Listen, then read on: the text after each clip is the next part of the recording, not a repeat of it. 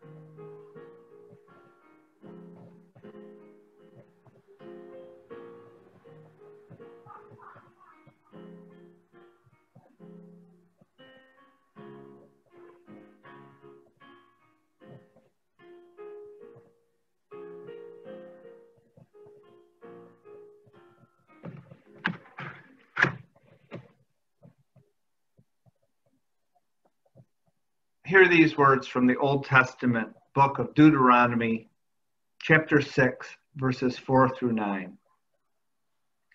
Hear, O Israel, the Lord our God, the Lord is one. Love the Lord your God with all your heart and with all your soul and with all your strength.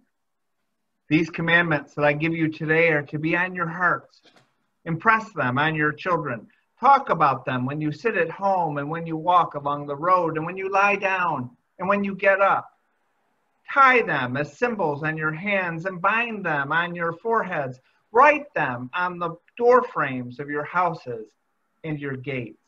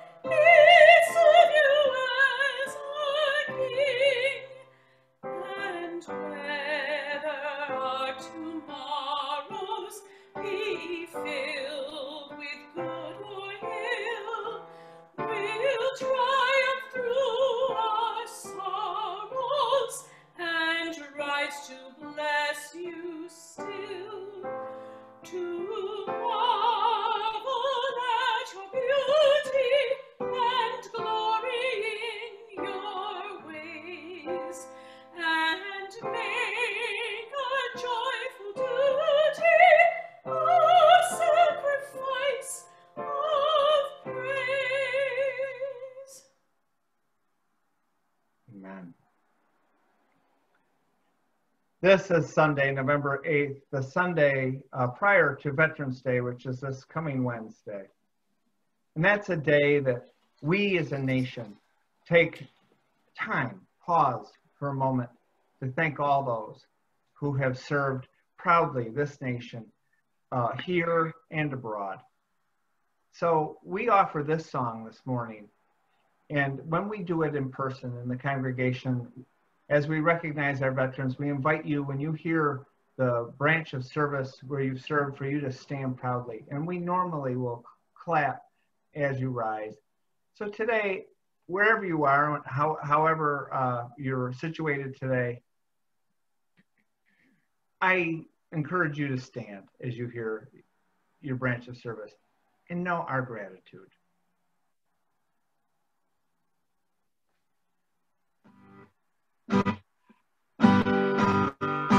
Over hill, over dale, we will hit the dusty trail. The army and the caissons go rolling along.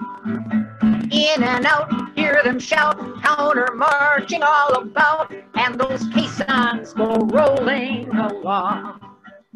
And it's high, high, in the field artillery. Count out your numbers loud and strong.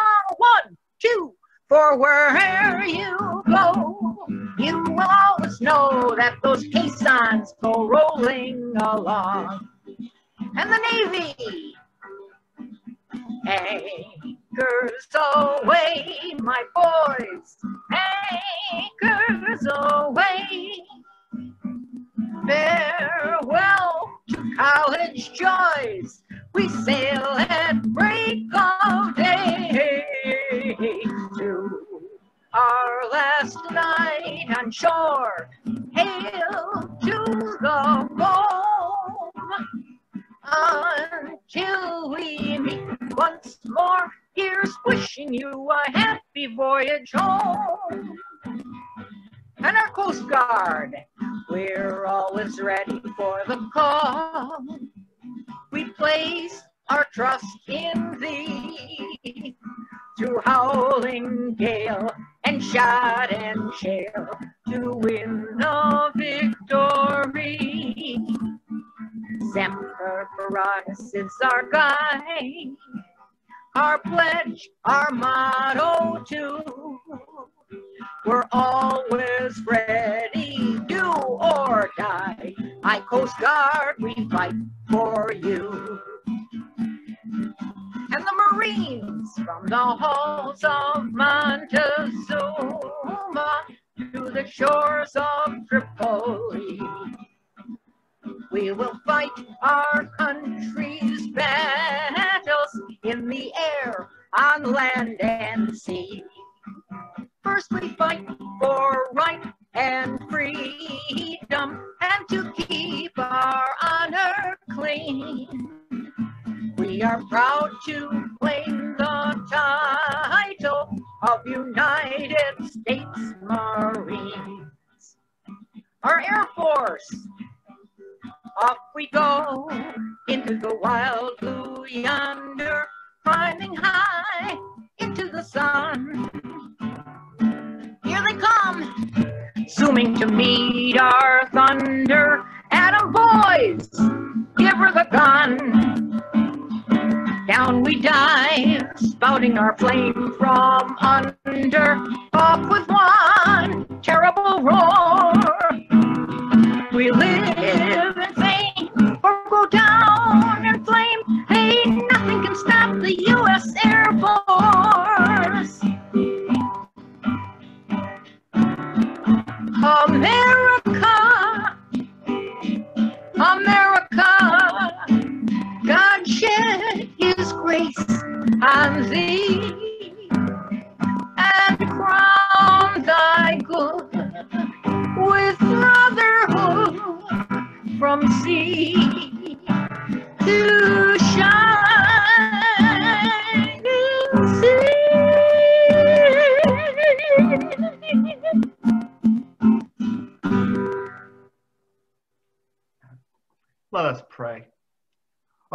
We give you thanks today for our nation's veterans.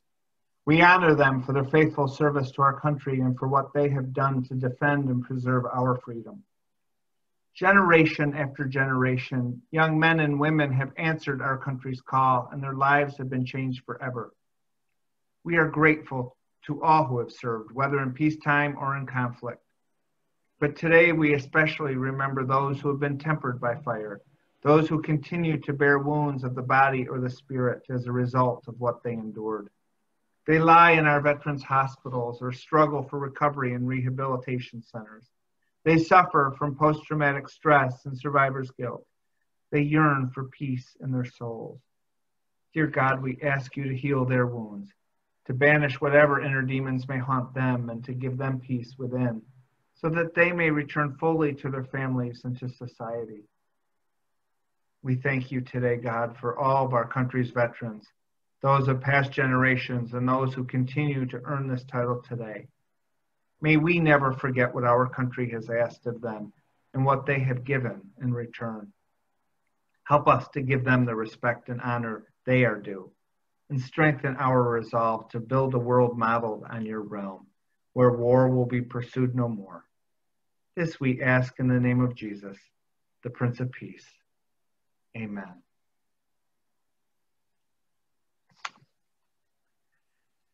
Good morning and welcome to Church on the Couch. I'm Pastor Jeff, and I'm actually worshiping today from uh, my office setting in Baldwinsville, where I also serve. And uh, we just heard that beautiful salute from Diana Gardner, who is uh, offering special music today. And we have also heard from Lisa Kisselstein, who is also doing special music this morning. And we have also heard, you've heard from us all already, early, Sue Candy, who is the organist and choir director at Pennellville United Methodist Church.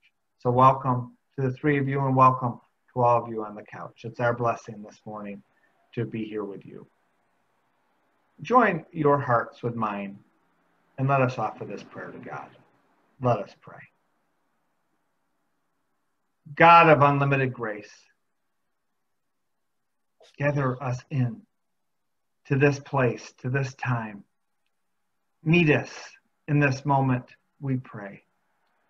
Lord God, in the midst of a time of anxiousness surrounding our national elections, may we be reminded of the blessing of freedom that we experience.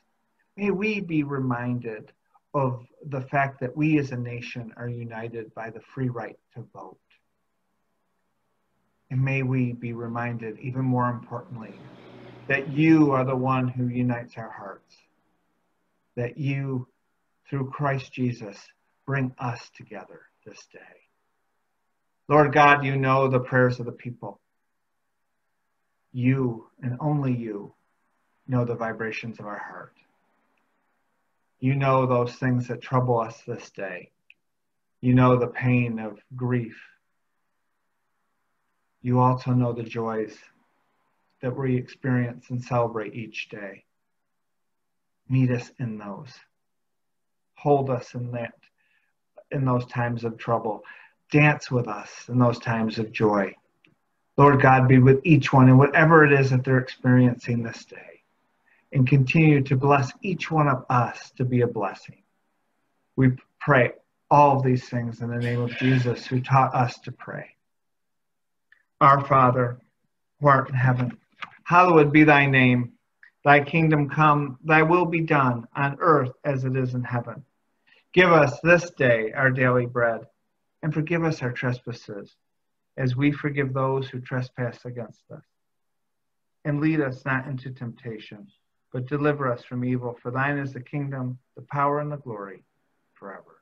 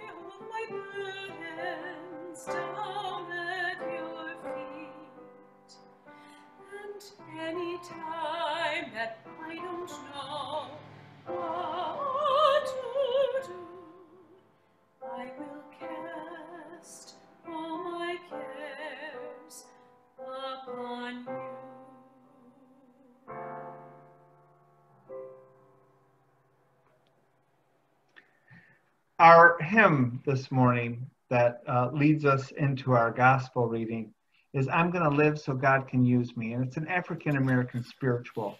And I'm going to just read the simple lyrics for you so that you may sing in response this morning. I'm going to live so God can use me anywhere, Lord, anytime. And you repeat that. I'm going to work so God can use me anywhere, Lord, anytime. And I'm going to pray so God can use me anywhere, Lord, anytime.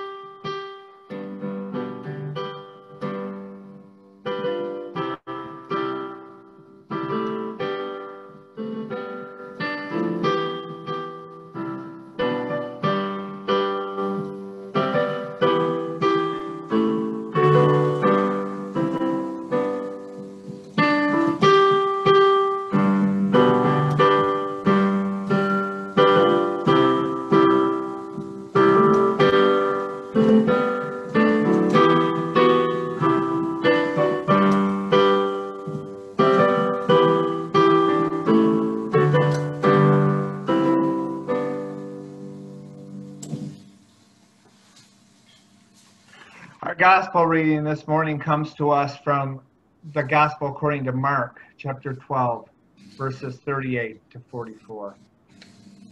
Hear this word. As he taught, Jesus said, Watch out for the teachers of the law.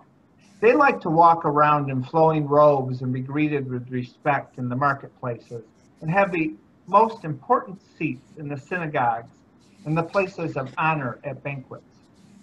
They devour widows' houses and for a show make lengthy prayers.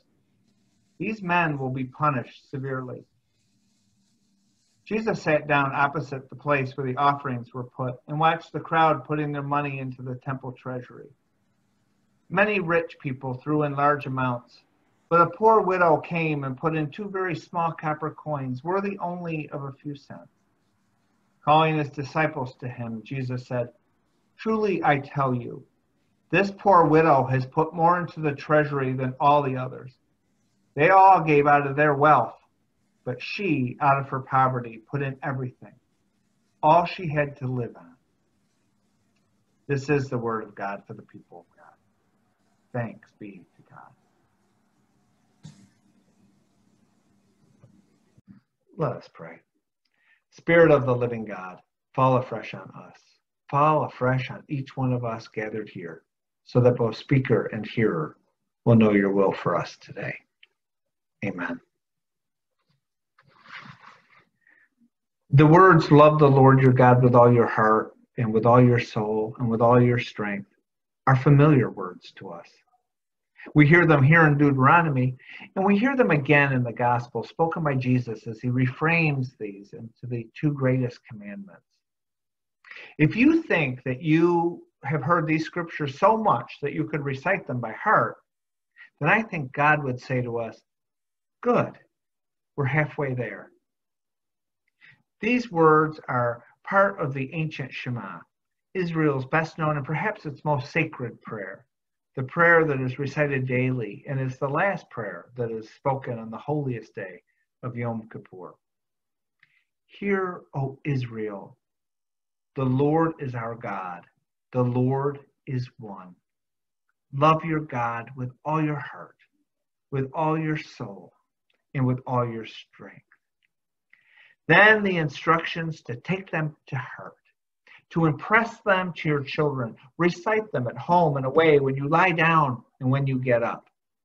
In other words, know this as well as you know yourself and live it. Live it as part of your daily life. Why God might say we're halfway there is because learning it, knowing it, hearing it over and over doesn't always translate to living it. When Jesus said these words, he paired them with the command to love your neighbor as yourself, reminding us that to love God with everything we have is lived out by how we love one another in the gospel passage that we read, Jesus had just spoken these two commandments, familiar words strung together to help those who love God and follow Jesus truly understand God's call on our lives. And we see this ongoing tension between knowing those holy words and living them out when Jesus, in real time, after he talked about the greatest commandment, criticizes the scribes and religious elite for the way they appear and behave. He said they walk around looking down upon most of society and mistreat the poorest and most vulnerable. They devour the widow's houses, Jesus said, underscoring how they are not loving neighbor as self and certainly not loving God with all their heart and their soul and their mind and their strength. As he said this, he witnessed the gathered putting their money in the offering including the poor widow who gave two coins, which could have been most of or all of what she possessed. Even though the others clearly gave more than the widow, Jesus suggests that it's her giving because it was given out of her poverty, not her abundance, that was the most genuine act. Even though she has far less money, her giving isn't about what she has left, it's about what she has. This reminds me of a story that I read a long time ago. It's called Why the Chimes Rang. It was written by Raymond MacDonald Alden in 1909. The story begins with those familiar words There once was in a faraway country where people have traveled a wonderful church. Now, this church stood high on a hill, and thousands climbed the hill to go to church every Sunday and on sacred holidays like Christmas. It was a huge church.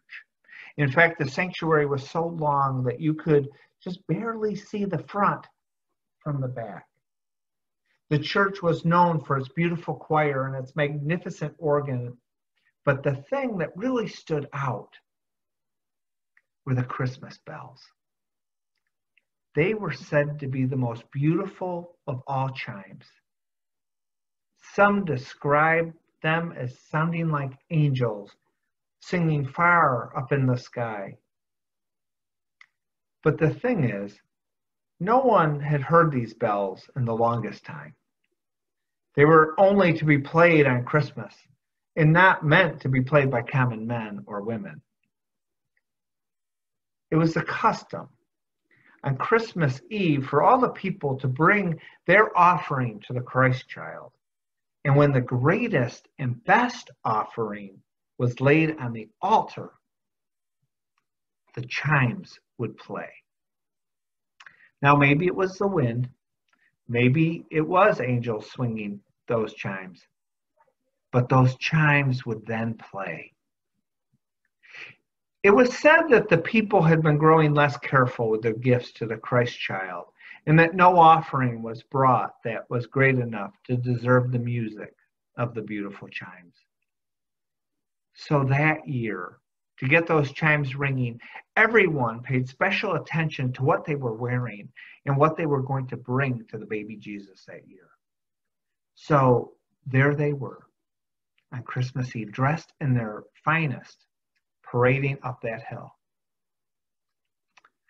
Miles away lived a boy named Pedro and his little brother, and they had heard how beautiful the church was and how special Christmas Eve was in that church. They had even heard that sometimes the Christ child himself will come down to bless the service. So they snuck away and made their way to the church. As they were walking their on their way there, the snow started to fall, making it hard to travel. Just as they got outside the city gates, they saw that this poor woman had fallen into the snow and she appeared to be too sick to finish the trip. Well, the boys stopped to help her and tried to get her up and were even willing to carry her to church, but she was too frail and too sick. So finally, Pedro said to his little brother, It's no use. You'll have to go on alone.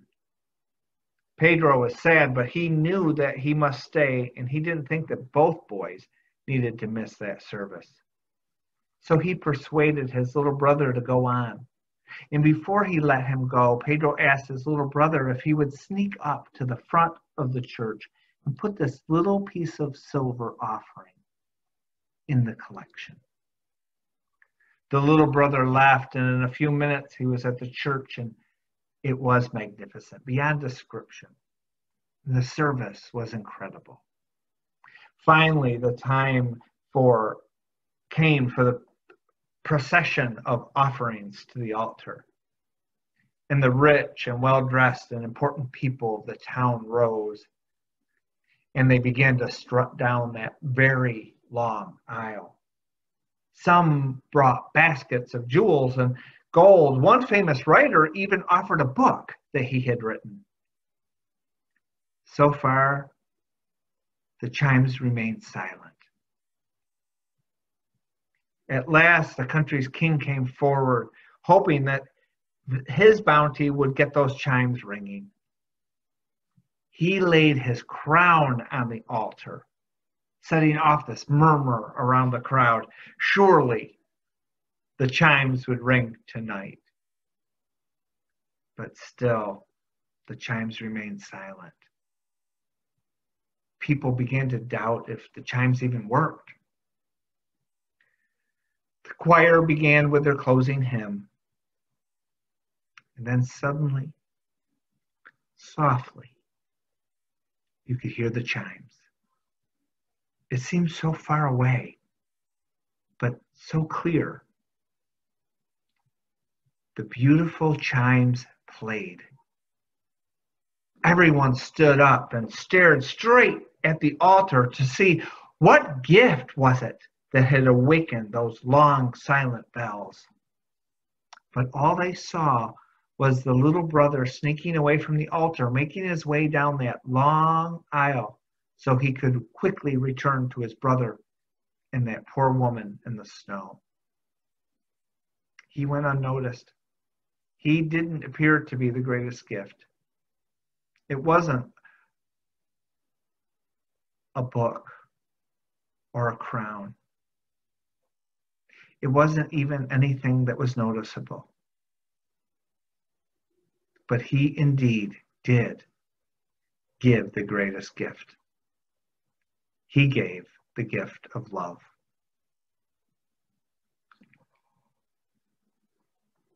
The boys and the widow gave an offering that reflected their love for God. The extravagance of the gift wasn't the value in the coins, but the authenticity of the gift and the devotion of the giver. Giving is about money, but those coins represent a lot more than just money. They represent an offering that is about faith, what we believe, and how we live it out. To live in those commands to love is to live intentionally and sincerely, giving out of what we are and whose we are, not of who we are and whose we are, not about what we want to be and what we want others to think about us to love with all that we are, our, our whole selves, is to give our whole selves. And that might not be extravagant. It might not be noticeable. But it'll be real. Because it'll be you. It could be the giving of your time, of helping, of being, of serving. It could be our resources, including our money. It could be giving of our giftedness. And it could be a combination of those things.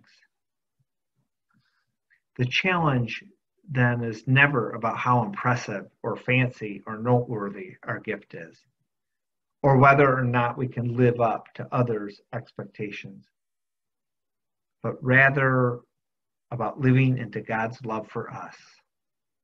By really loving God with all our heart and our soul and our mind and our strength. By living it out in all that we do, in all that we are.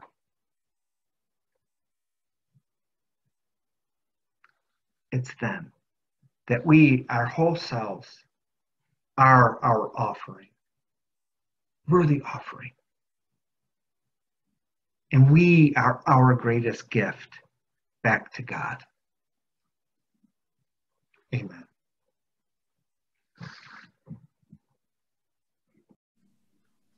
Let us pray this prayer of confession. Gracious God, so often we look at ourselves, our gifts, and our talents, and wonder what you would do with these offerings. We don't think that we have much to give. So far, too many times we belittle the gifts and turn our backs on the needs and opportunities present to serve, believing that our gifts cannot possibly make a difference. We think that we must possess the greatest of talents and wealth in order to truly please and serve you. How foolish we are. Forgive us when we stop listening to your healing and comforting words and focus on our anxieties. Heal us, Lord. Help us know that you have given to us such blessings and that these blessings are truly wonderful and meant to be used to joy and service to others. Help us to bring our lives just as they are to you and to receive your gentle touch and healing grace. We ask this in Jesus' name. Amen. God has given to each of us such blessings and talents. With joy, we bring these gifts to God.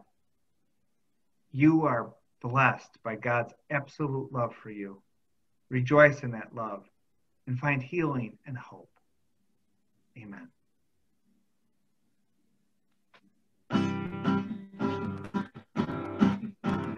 Give what you can when you can't do anybody who looks like they need a friend.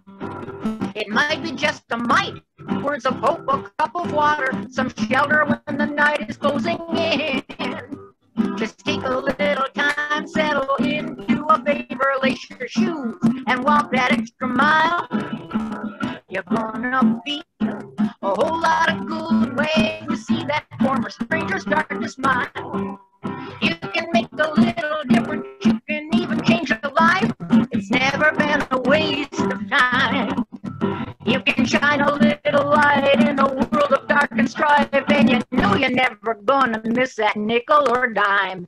It's gonna be the style, more people in a smile do a good thing. You multiply that by two.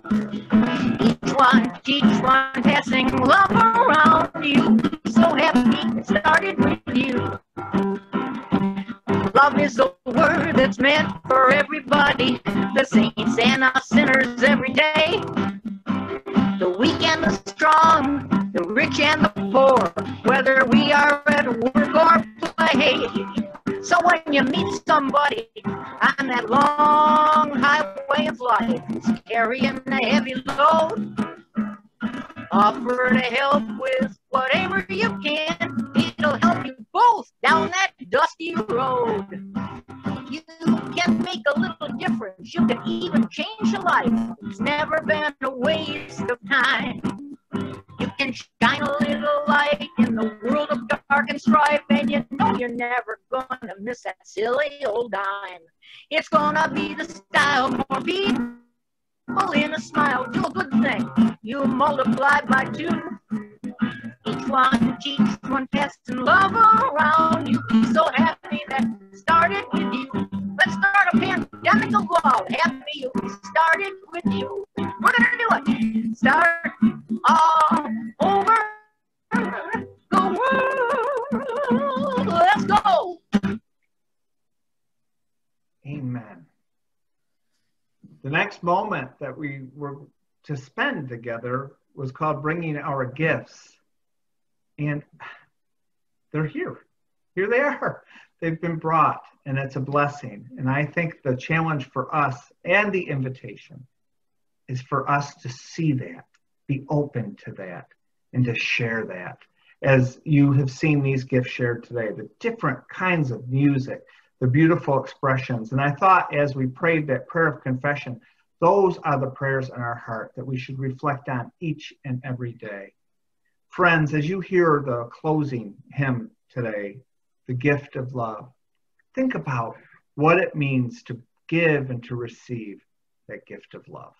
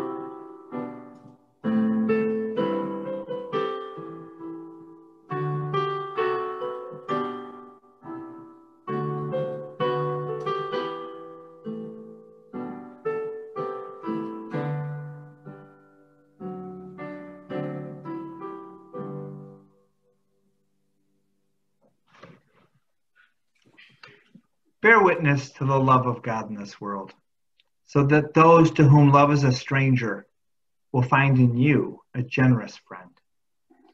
May the grace of our Lord Jesus Christ, the love of God, and the fellowship of the Holy Spirit be with you and remain with you always. Amen.